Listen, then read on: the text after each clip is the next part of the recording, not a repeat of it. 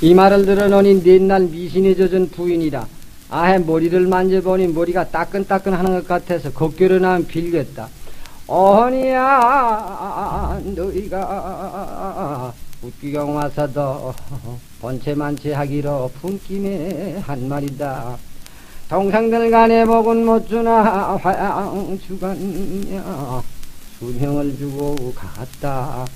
동방생에 나를 빌고 강타공 비루 손팔시 후판시 일백예순을 정지한다. 그제야 마음이 좋아서 계집에 던져자 무당한 데부터 왔으면 만단 사죄나 하지 않나?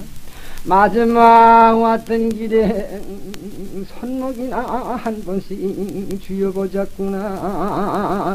야 그건 참 못하겠다 그만두어라. 길 갈라졌다고 관세들 하느나 손목 썩어져 내리도 내 탓은 하지 마라. 아, 아, 아, 자 쥐어보아라. 이때 두 손목을 부여잡고 지부모 보양을 극진히 승승 군자 속 태우지 말고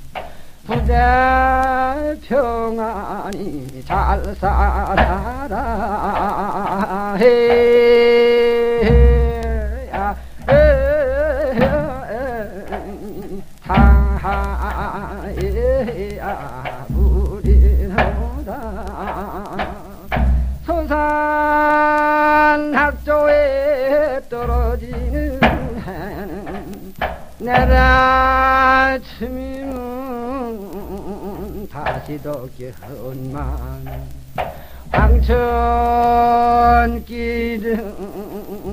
얼마나 먼지 한변 가면 영절이라 해야 하야